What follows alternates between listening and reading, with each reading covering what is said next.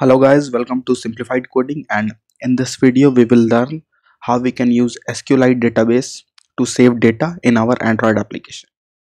So it is a blank application, I created it with empty activity and now we will create a class to handle the database operation. So let's create a Java class and you can name it anything. I'm giving name database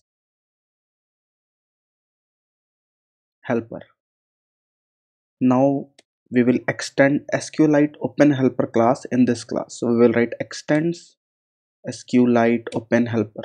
Now we need to implement some methods. So I press Alt Enter and then implement methods and click OK. Now we need two things. One is the database name and the other one is the database version. So we will create two constants. So write private static final string db name and you can put any name. So let's name the database as sqlite database example. Or you can give any name. And other one would be an int.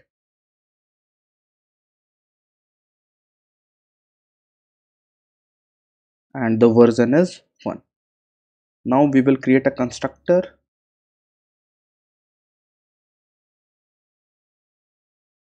and the constructor would take context as a parameter. And now we will call super and we will pass context the database name then we can pass null. This parameter takes cursor factory and it could be null. And the last parameter is the db version. Now inside the on create we will create an sqlite database. For this we will create a string that will and in this string we will store the query to create our database table. So in this example i'm going to create two tables and both tables would be connected with foreign key constraints. So let's see how we will do this. The first table would be artist so i'm writing sql artist and here we will write the query to create the table.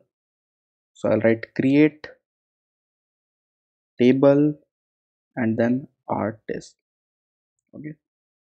And the columns would be first one would be id and it would be an integer and it is the primary key and it would be auto increment. Then we have name and it would be varchar now the other table would be the tracks. So I'll write sql tracks and it would be create table and the table name would be tracks. Again it would have an id which would be integer primary key and auto increment. Other parameter would be the name it would be varchar and the last last column would be the artist id so both these tables would be connected. And the last parameter would be foreign key.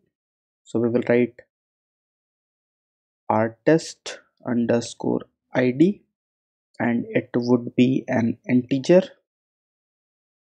And then we will write foreign key. And we have to make this artist id as foreign key and it would be referenced as artists. And this is the table name artist and we have to connect with it. Id we'll write id that's it. So we have the queries. Now we will execute this queries in the database. So we will write we will use this sqlite database object. So we will write sqlite database dot execute sql and we will pass the sql so we have artists we have tracks. That's it. Now inside on upgrade we will drop both these tables. String sql or just string sql artist and we will write and we will write drop table if exists and the table is artists and the other table is tracks.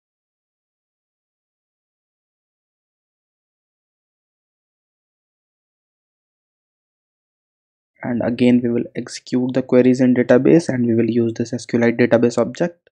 So write SQLite database dot execute SQL and we will first execute tracks and then we will execute artists and again we will call the on create function to create the databases again and we will pass the SQLite database. That's it. So now we will create a method to add artists to our artist table. So create a method public boolean add artist. And we have to give the artist name. So we will pass in string. Now we will create SQLite database. And we will get a writable database because we have to write the values to the database. Now we will create content values. New content values now we will put the artist name in this content values.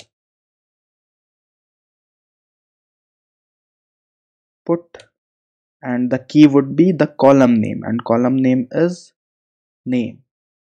So name and then the actual name that we need to store. Now we will write db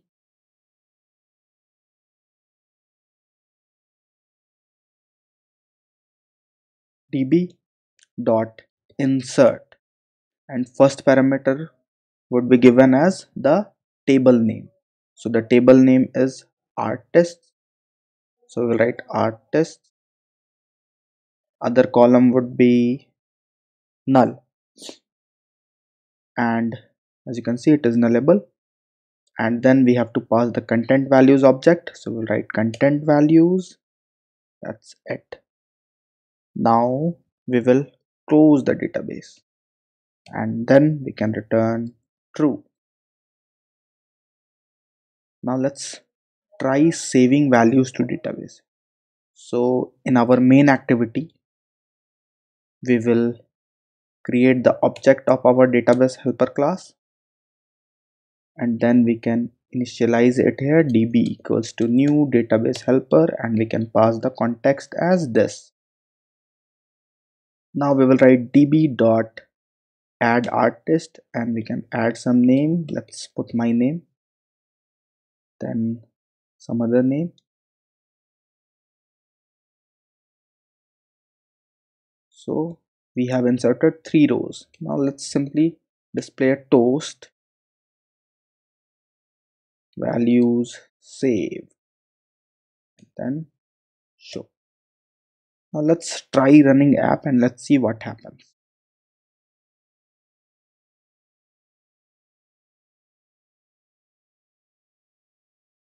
Oops we are getting some error. Let's see what is the error. So let's see we have an SQLite exception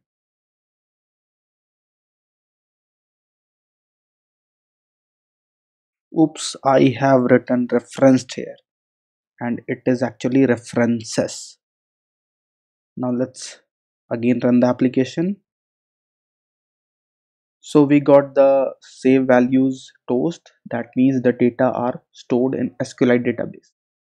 But let's now check the data are actually stored or not. For this we will connect to ADB shell and then we will use SQLite command to, to, to explore our SQLite database. So open terminal and first we need to go to the SDK locations. For this click file and from project structure you can know the SDK path, copy it and go to terminal and write the command cd and the path again we will write cd hyphen platform hyphen tools cd platform tools. Now here we will write dot a dot slash adb and then we will write devices. This will list out all the running devices.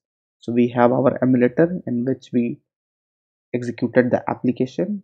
Now we will connect with this emulator. So we will write adb hyphen s then emulator name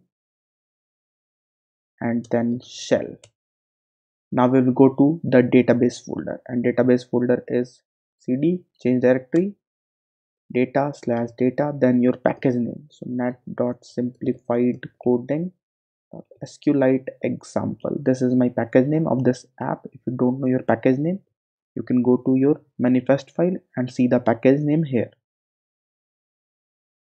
Now we will write slash databases and hit enter and we are inside the databases folder. Now we will write sqlite 3 and our database name. So our database name is this sqlite database example copy it and paste it here. That's it. Now hit enter.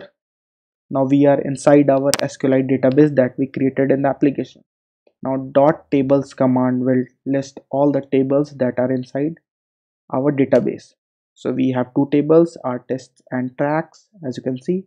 Now we have stored three rows in our artist table. So let's see whether the rows actually exist or not. So right select asterisk from artist and semicolon and hit enter. And as you can see we have three rows saved in our SQLite database so the values are getting stored correctly. Now i'm wrapping up this video here and in next video we will create a ui and store the values from the ui and in coming part we will also see how to fetch and update the values of the database. So stay tuned and please like my video and subscribe to my channel as well and share the video as well. Thank you